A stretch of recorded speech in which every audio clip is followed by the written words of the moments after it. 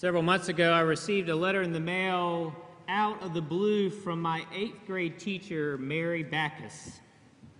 She was cleaning out her files after retiring from teaching, and she held on to some of the papers of her students.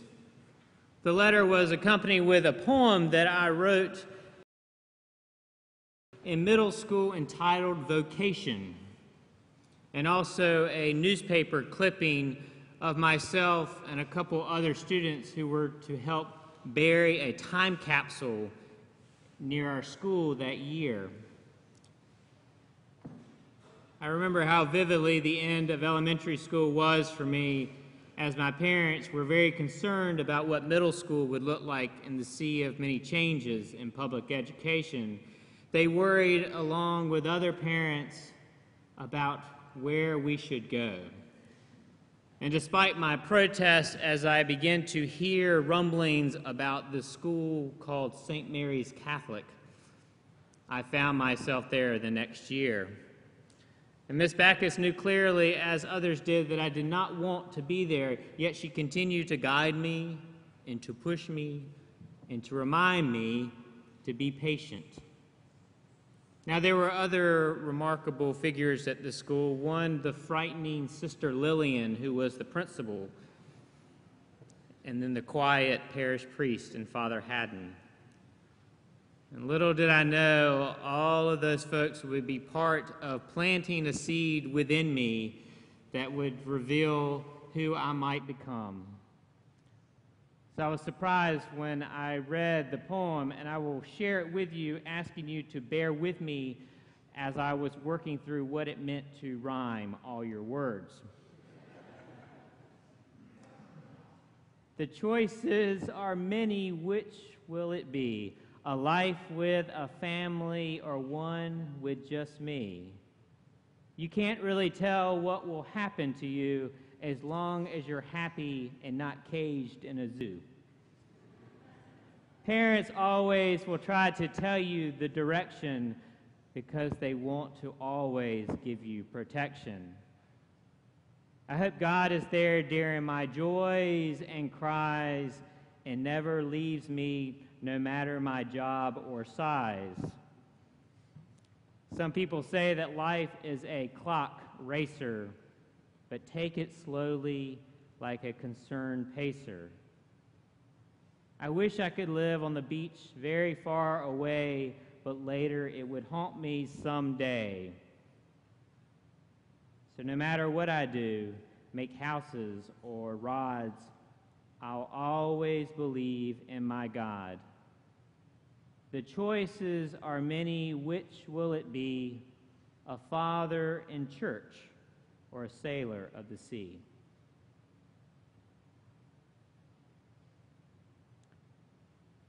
As a mother looks into the eyes of a newborn, soon the black pupils in their eyes lock and a covenant is made. The mother promises to share all that she knows with this child to protect them and to continue to seek additional guidance from God's Spirit in the places where we do not know what will come. A bond is formed, a real love begins. And the love will continue to evolve in stages. And perhaps around 18 years, the child will go off to higher education or the workforce and she will say, I have given you all that God has taught both of us so much through our trials and tribulations that we shared. The most memorable lessons come from those exchanges of tough times when you stick it out together. We find God's hand there guiding us.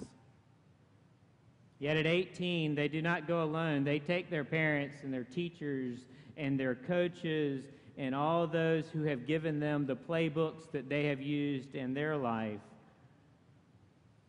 And yet, we know in those moments of transition that the anxiety still can be palpable as they begin their journey because it's not just their journey, it's our journey.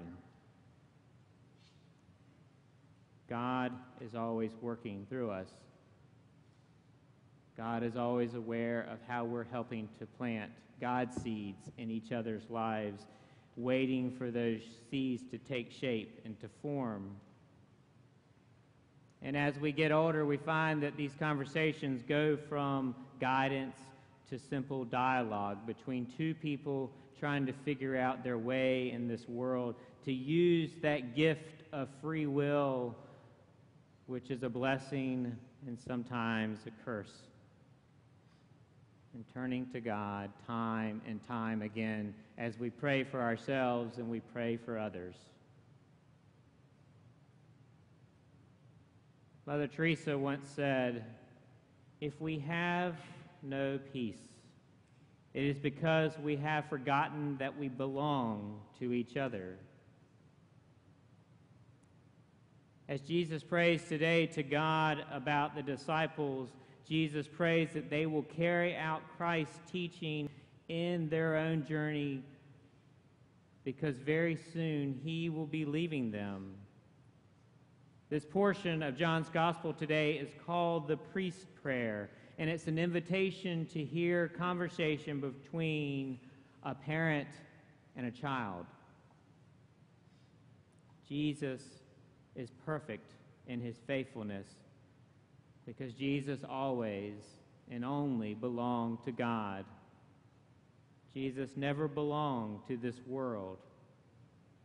And as Jesus talks to God in this most intimate way, it's like the mother speaking softly to the newborn, but we get to listen in. We get to hear how much faith Christ has in the disciples then as well as the faith that Christ has in us. For the knowledge has been passed down to us. The teachings continue to go from one disciple to the next. What will come as such a gift of knowledge? Will be tested as we go out into that secular world, the world in which hated Christ. Jesus knows the disciples are equipped to do God's work. And Jesus prays to God today that we will remember the truth of love. For it is love that reconnects us. It is love that tells us we belong to God and we belong to each other. Jesus praying to God, Holy Father, protect them in your name that you have given me, so that they may be one as we are one. Jesus prays the covenant. That is the relationship between God and God's disciples. And the great teacher has blessed Christ.